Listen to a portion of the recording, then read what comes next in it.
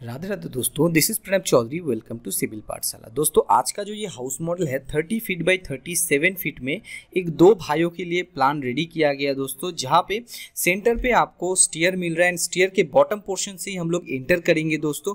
And आप बाहर का लुक देख सकते हैं, कुछ इस तरीके का हम लोग डिज़ाइन किए हैं। एंड दोस्तों, इसमें आप लोगों के साथ मैं building costing column position and everything discuss करूँगा। एंड एक बिल्डिंग कैसे खड़ा होता है, वो भी मैं आप लोगों को दिखाऊँगा। तो वीडियो को एंड तक देखते रहिए। बहुत ही जानकारी यहाँ पे आपको मिलेगा एंड नॉलेज भी बहुत ही अच्छी तरीके से मिलेगा। Column tie beam floor wall lintel door and windows stair furnitures remaining wall sunset main beam slab stair room parapet wall stair roof, flowers. Front elevation है, दोस्तों कुछ इस प्रकार है।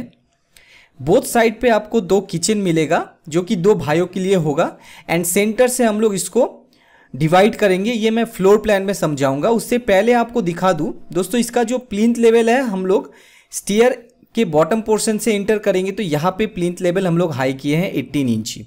ओके?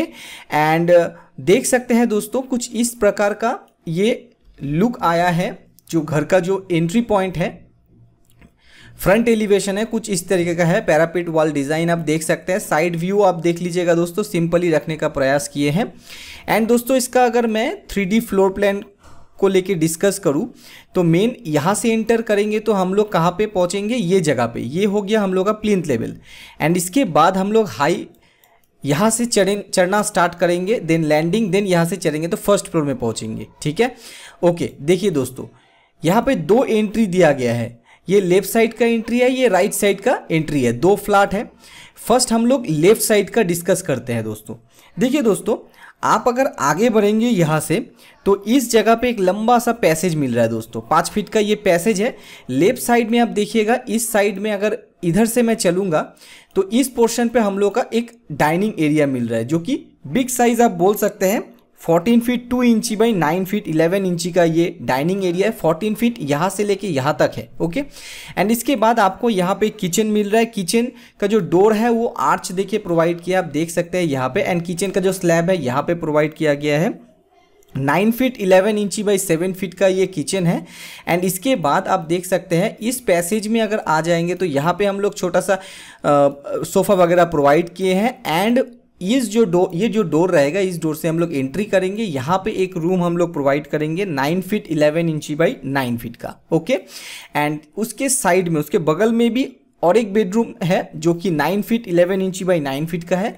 यहाँ पे एक टॉयलेट दिया गया दोस्तों बैक साइड में। जो टॉयलेट साइज़ रहेगा दोस्तों, ये four feet by five feet six inch okay right side में भी सेम आप देख लीजिएगा दोस्तों, हर एक मेज़रमेंट इक्वल है। ओके दोस्तों एंड देखिए दोस्तों, यहाँ पे जो कॉलम हम लोग प्रोवाइड किया, आप देख लीजिएगा दोस्तों कॉलम हम लोग one two three four five six seven eight nine ten eleven twelve thirteen fourteen fifteen sixteen seventeen eighteen nineteen twenty twenty piece column provide किए हैं टेन पीस एक भाई के लिए और एक टेन पीस और एक भाई के लिए। तो इक्वली डिस्ट्रीब्यूट हो गया दोस्तों एंड इसका कॉस्टिंग देख लेते हैं दोस्तों कॉस्टिंग जो है थर्टीन पॉइंट फाइव लैख खर्चा आएगा दोस्तों, साढ़े छः साढ़े छः लाख।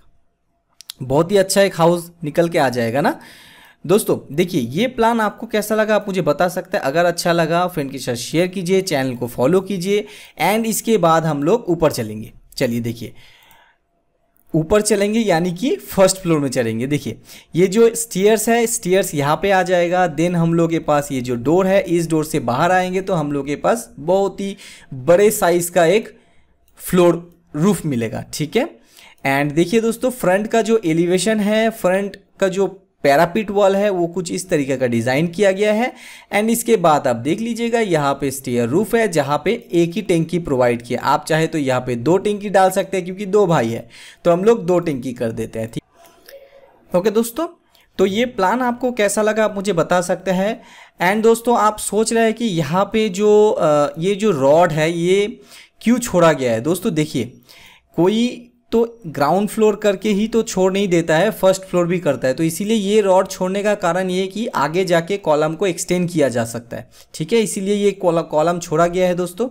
देखिए, आपको प्लान कैसा लगा आप मुझे ज़रूर कमेंट करके बताइए। अगर अच्छा लगा फ्रेंड के साथ शेयर कीजिए चैनल को सब्सक्राइब कीजिए फॉलो कीजिए बेल को प्रेस कीजिए एंड ऐसे प्यार देते रहिए दोस्तों। आज के लिए इतना दोस्तों। थैंक यू वेरी मच जय हिंद।